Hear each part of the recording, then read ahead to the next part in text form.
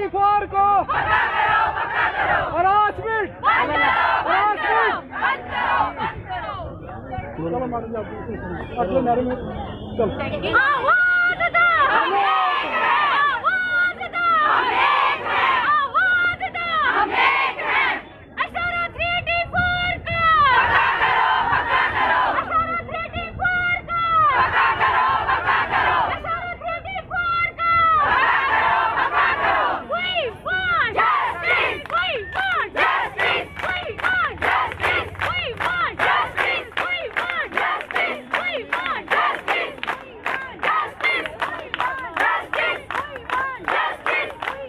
Justice. हमारी मांगे पूरी करो हमारी मांगे पूरी करो हमारी मांगे पूरी करो मैटरनिटी लीव सेशन करो मैटरनिटी लीव सेशन करो मेडिकल लीव सेशन करो मेडिकल लीव सेशन करो हमारी मांगे पूरी करो हमारी मांगे पूरी करो एसआरओ 384 को पक्का करो पक्का करो एसआरओ 384 को पक्का करो पक्का करो we want justice we want justice we want justice we want justice हमारी मांगे पूरी करो हमारी मांगे पूरी करो हमारी मांगे पूरी करो We want justice. We want justice. We want justice. We want justice. We want justice. We want justice. We want justice.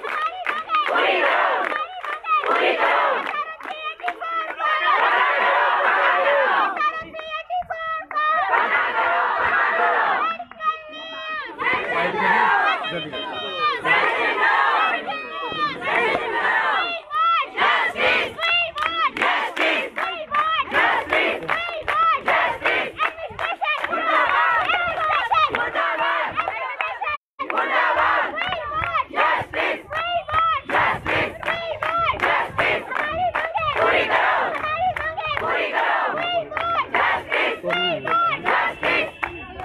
जी किसी नहीं बात बैठ गया नहीं है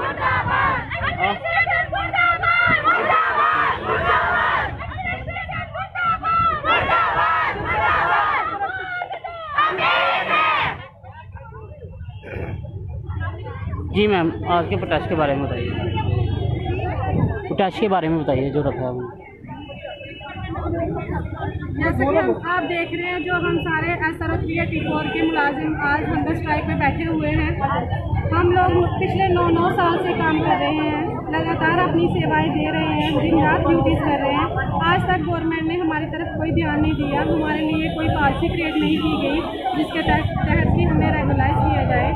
आज हम जो हंगर स्ट्राइक में बैठे हुए हैं, और सरकार से यही अपील करते हैं कि हमारे लिए कोई पॉलिसी क्रिएट की जाए, जिसके तहत हमें रेगुलाइज किया जाए और हमारी जितनी भी डिमांड्स हैं वो फुलफिल की जाए, जिसमें हमारी आल टाइप्स ऑफ़ लीव्स आती हैं, जैसे मैटर्निटी लीव जो मेन होती है फीमेल्स के लिए, हमें मैटर्निटी लीव तक नहीं मिलती है मेडिकल अलाउंस नहीं देते हैं रिस्क अलाउंस नहीं है, जैसे हम एमरजेंसी में चौबीस चौबीस घंटे ड्यूटीज़ कर रहे हैं लगातार ढाई डेज़ की सैलरी नहीं हमें मिलती है, हमें हमारे सारे हक दिए जाएँ, और जैसे कि हमारे भाई हैं, जो अट्ठाईस महीने से इनकी सैलरी नहीं आ रही है, इनकी सैलरी रिलीज़ की जाए और हमारी गवर्नमेंट से यही अपील है कि जैसे आप कहते हो कि बेटी बचाओ, बेटी पढ़ाओ, और आज जम्मू की बेटियाँ, जम्मू कश्मीर की बेटियाँ सड़कों पे उतरी हुई हैं अपना हक मांगने के लिए। हमारे हक हमें दिए जाएँ, हमारे लिए पॉलिसी क्रिएट की जाए, जिसके तहत हमें रेगुलाइज किया जाए।